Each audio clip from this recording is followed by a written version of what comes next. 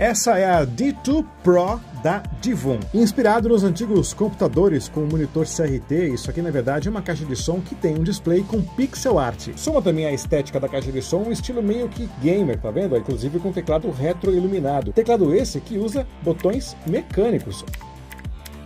Para ter acesso a todas as funções da D2 Pro, o ideal é você baixar o aplicativo da Divum no seu celular. Aqui, cara, você tem uma gama de personalização gigantesca. Consegue criar imagens de fundo, olha lá, de forma instantânea. Ela tem um único driver de 48mm que vai emanar aqui uma potência máxima de 15 watts RMS. Possui uma bateria de 5000 mAh que vai entregar até 8 horas de uso. Dá para ligar a Dito Pro no seu computador para que o áudio do PC saia aqui também. Tem a opção de micro SD e Bluetooth na versão 5.0. Definitivamente a caixa de som mais divertida e estilosa que já passou aqui no canal. Vídeo completinho de unboxing lá no meu canal no YouTube e link de compra na descrição. Valeu!